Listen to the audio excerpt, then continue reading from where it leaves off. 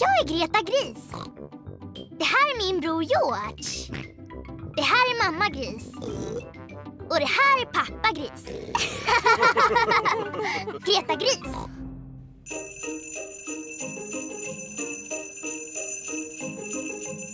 Snö.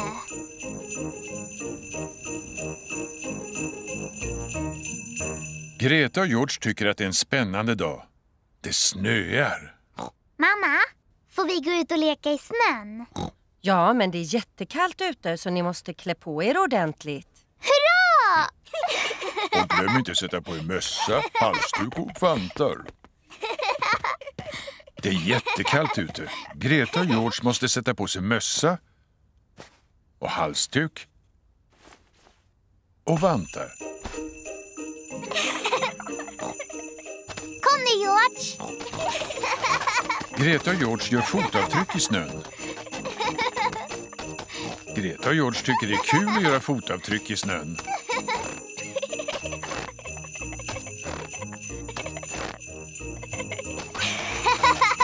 Wow! Oj då.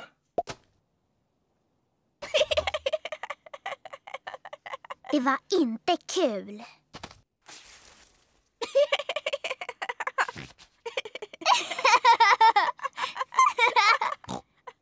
George, vi kastar snöbollar. Greta har gjort en snöboll.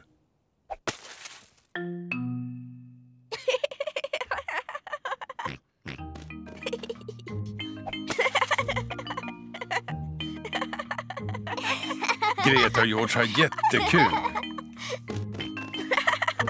George, kom tillbaka din lilla griskulting. Ah!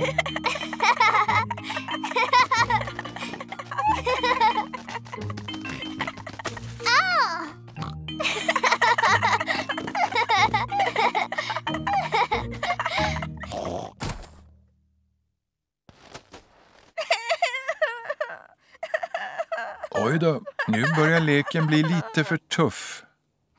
Förlåt, George. George, vi bygger en snögubbe. Greta och George ska bygga en snögubbe. Först gör de kroppen. George, det här är snögubbens kropp. Sen gör de snögubbens huvud. Nu ska han få armar, ögon och en mun.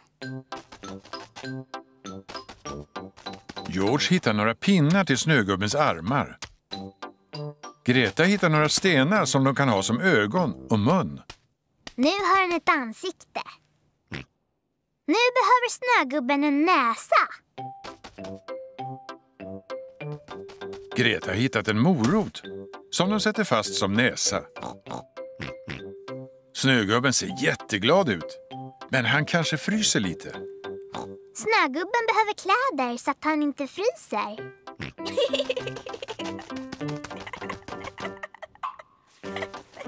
George har hittat lite kläder till snögubben så att han ska ha det varmt och skönt.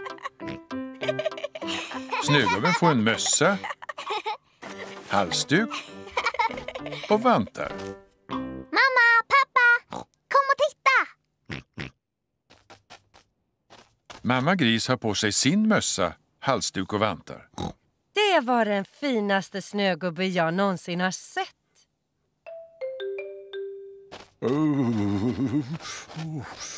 Pappa Gris ser verkligen frusen ut. Han har inte sin mössa, halsduk och vantar på sig.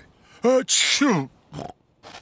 Pappa, varför har du inte mössa, halsduk och vantar på dig?